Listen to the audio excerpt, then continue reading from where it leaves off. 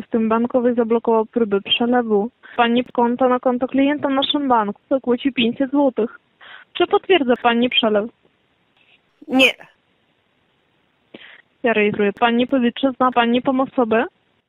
A kto przy telefonie? D jako Dorota. Zgodnie z regulaminem naszego banku oraz ustawą międzybankową musimy poinformować wszystkie banki, w których posiada konta, że doszło do straty danych osobowych z prośbą o natychmiastowy kontakt.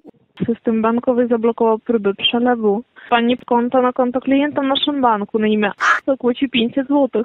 Jeżeli twierdzy ten przelew i nie zna tą osobę, to może oznaczać, że doszło do straty lub do kradzieży danych osobowych i ktoś w tej chwili ma dostęp Pani do Pana bankowości. W celu weryfikacji, że rozmowa nie jest przekierowana na urządzenie osoby niezaufanej, osoby trzeciej, proszę mi powiedzieć, z usług których banków się korzysta. Po prawidłowej odpowiedzi ten przelew zostanie anulowany. Słuchaj, po co do centrali moje pieniądze zabrał? Kurwa, jego mać. Ja ci kurwa dam, aż w szlak jasny trafi, krew nagła zaleje. Oddajcie mi pieniądze, wy skurwysyny jasne, pierony zajebane, siarcistek. Kurwa, żeby was pierony ogniste, siarcistek, to was u, u, u, kurwa wasza zajebana mać była.